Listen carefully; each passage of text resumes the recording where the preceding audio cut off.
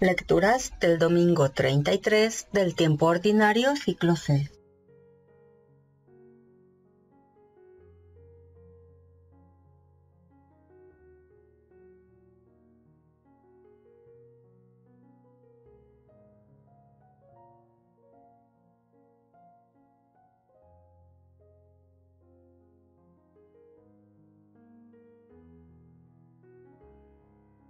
Cuídense de que nadie los engañe, porque muchos vendrán usurpando mi nombre.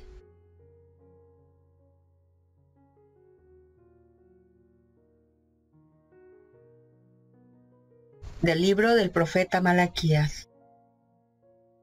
Ya viene el día del Señor, ardiente como un horno, y todos los soberbios y malvados serán como la paja.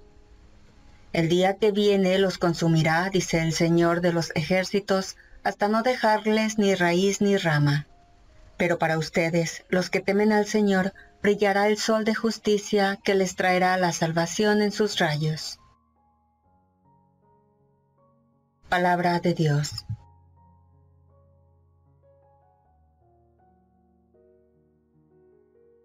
Toda la tierra ha visto al Salvador.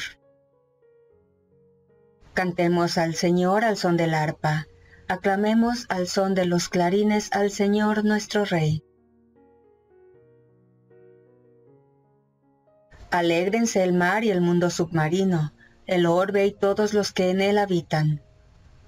Que los ríos estallen en aplausos y las montañas salten de alegría. Regocíjese todo ante el Señor, porque ya viene a gobernar el orbe Justicia y rectitud serán las normas con las que rija a todas las naciones.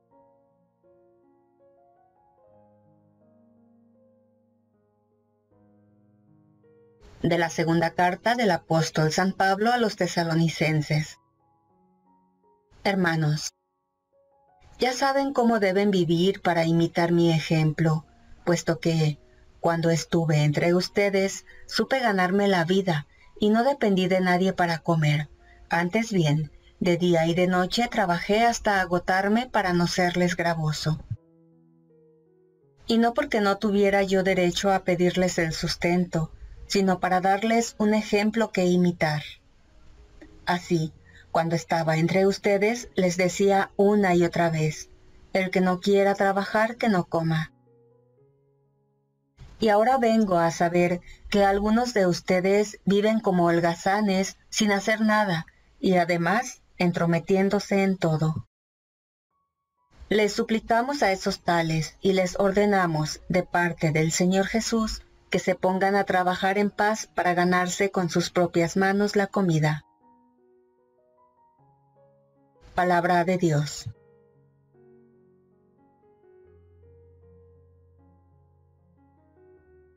Estén atentos y levanten la cabeza, porque se acerca la hora de su liberación, dice el Señor.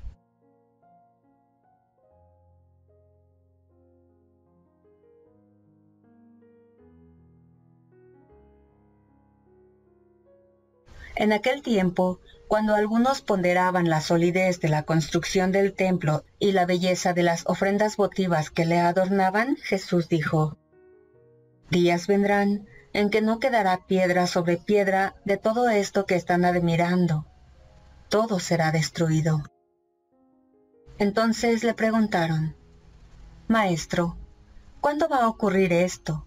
¿Y cuál será la señal de que ya está a punto de suceder?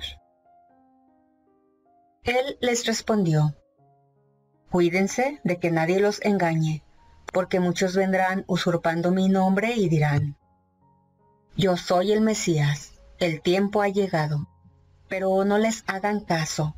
Cuando oigan hablar de guerras y revoluciones, que no los domine el pánico, porque eso tiene que acontecer, pero todavía no es el fin. Luego les dijo, se levantará una nación contra otra y un reino contra otro. En diferentes lugares habrá grandes terremotos, epidemias y hambre y aparecerán en el cielo señales prodigiosas y terribles. Pero antes de todo esto los perseguirán a ustedes y los apresarán. Los llevarán a los tribunales y a la cárcel y los harán comparecer ante reyes y gobernadores por causa mía. Con esto darán testimonio de mí. Grábense bien que no tienen que preparar de antemano su defensa, porque yo les daré palabras sabias a las que no podrá resistir ni contradecir ningún adversario de ustedes. Los traicionarán hasta sus propios padres, hermanos, parientes y amigos. Matarán a algunos de ustedes y todos los odiarán por causa mía. Sin embargo, no caerá ningún cabello de la cabeza de ustedes. Si se mantienen firmes, conseguirán la vida.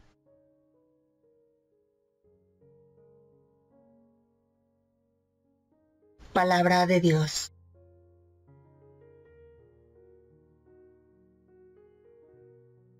Lecturas del domingo 33 del tiempo ordinario, ciclo C.